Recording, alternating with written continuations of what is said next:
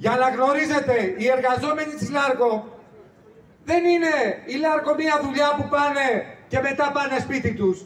Η Λάρκο είναι το σπίτι τους. Εγώ θα σας μιλήσω λίγο για το μεταλλείο της Εύβοιας. Στο μεταλλείο της Εύβοιας γύρω γύρω στήθηκαν 10 χωριά με 14. Ξέρετε τι ήταν η Λάρκο για αυτά τα χωριά και τι είναι; Γιατί αν κάνετε μια βόλτα σήμερα θα το δείτε και θα το καταλάβετε. Η Λάρκο ήταν η περιφέρεια, ο Δήμος, η πολιτική προστασία, ήταν τα πάντα για αυτά τα χωριά, τα οποία σήμερα παρετούνται και ρημώνουν. Τι ζητάμε εμείς από τον Πρωθυπουργό, να μην ερημώσουν αυτά τα χωριά.